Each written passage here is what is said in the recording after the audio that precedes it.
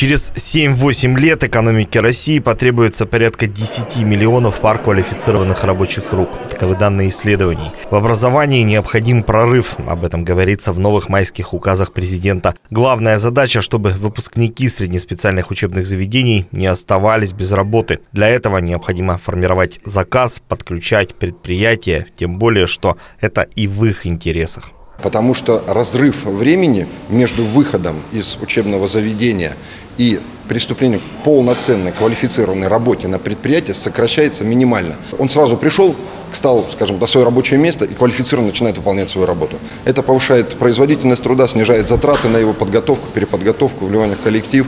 Соответственно, это повышает эффективность производства и работы предприятия. Подобный опыт уже есть в Анапском сельскохозяйственном техникуме. В частности, винодельческие предприятия направляют на обучение специалистов, а затем берут их на практику. Уже второй год подряд у школьников есть возможность получить свою первую рабочую специальность – садовник. В прошлом году мы обучили 20, и у нас еще была программа с, со школой Раевки, там был садово-парковый ландшафтный дизайн.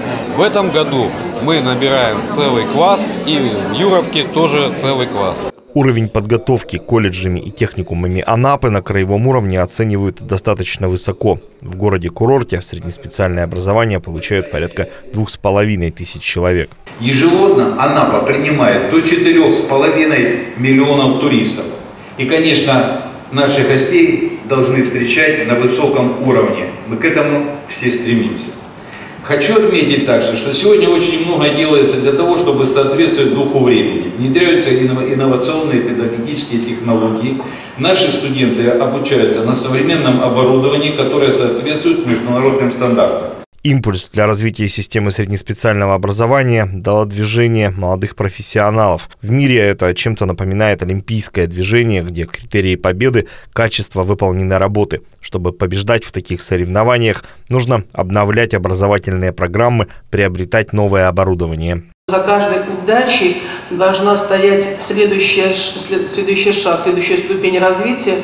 Это как перейти от качественных высоких достижений единичных и командных все-таки к массовому качеству образования, которое напрямую связано с дальнейшим трудоустройством и успешностью наших учеников. Идет постепенный переход к тому, что выпускники среднеспециальных учебных заведений будут сдавать экзамен по методике движения молодых профессионалов.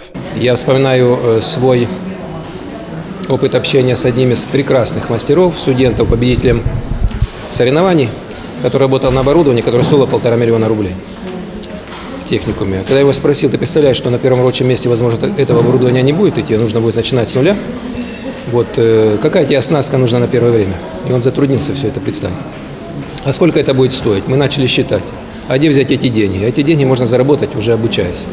По мнению Виктора Чернявского, необходимо повышать объем практики, причем оплачиваемый, чтобы еще до выпуска у начинающего специалиста была возможность собрать собственный комплект оборудования, а возможно и небольшой стартовый капитал, подкрепленный азами экономических знаний, чтобы открыть свое дело. Александр Ребека, Михаил Григорьев, Анапа регион.